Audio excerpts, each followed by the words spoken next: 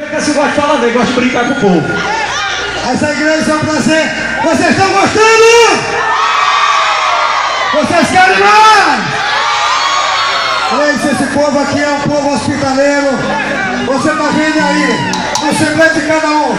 É o prefeito, é o povo, todo mundo é humilde, o povo bacana que sabe brincar. E é um prazer nosso receber você em nossa grande amada São Roberto. E com certeza, essa é a primeira de muitas vezes nós iremos receber você aqui com fé em Deus. Sete músicos vocês querem?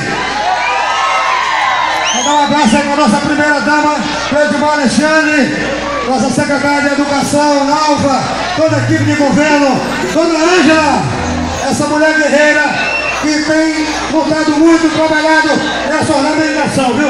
Não esqueça essa grande guerreira, Dona Ângela, secretária de Educação Nova, e todos os secretários do governo Mudim, que estão empenhados nessa cultura, juntos realizando essa grande festa.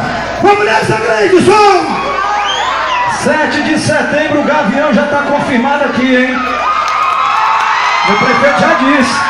Já queria mandar o dinheiro, disse não, quando eu chegar aí no dia você resolve. Pode trabalhar, vou deixar de conversar porque hoje meu tempo está corrido e 10 horas tem que pegar o voo. Então vamos brincar muito, hein?